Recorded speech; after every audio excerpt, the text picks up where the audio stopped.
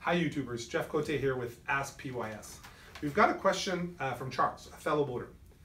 Charles asks, I've got a 30, uh, 42 foot sailboat that I keep unmonitored on a dock on a small island. There is shore power, but we have many power outages. I don't get to check my boat very often, maybe every six weeks. I have an EFOY 140, which is a methanol fuel cell. Can I just leave that on automatic?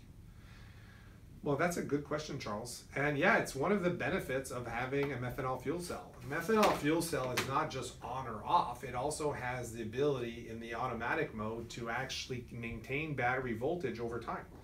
And when we install methanol fuel cells on boats, we tell boaters that one of the benefits of this methanol fuel cell is that if you do ever lose shore power and you don't have crazy loads, but just a little bit of loads, your fuel cell if it's connected to what's called an M10 cartridge, which is about this big, uh, would provide about a little bit less, but almost up to, if it's full, a thousand amp hours of battery capacity.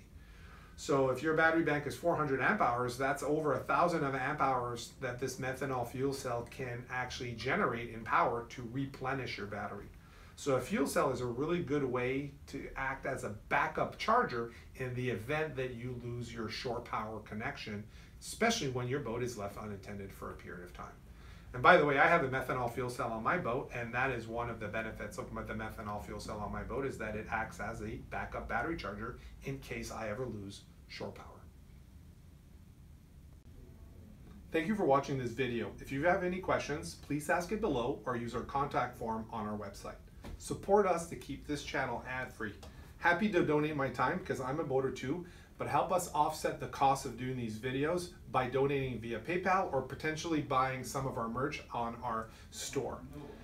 And don't forget to subscribe uh, so that you can keep having these weekly and we're producing almost four videos a week now. And thanks again for watching.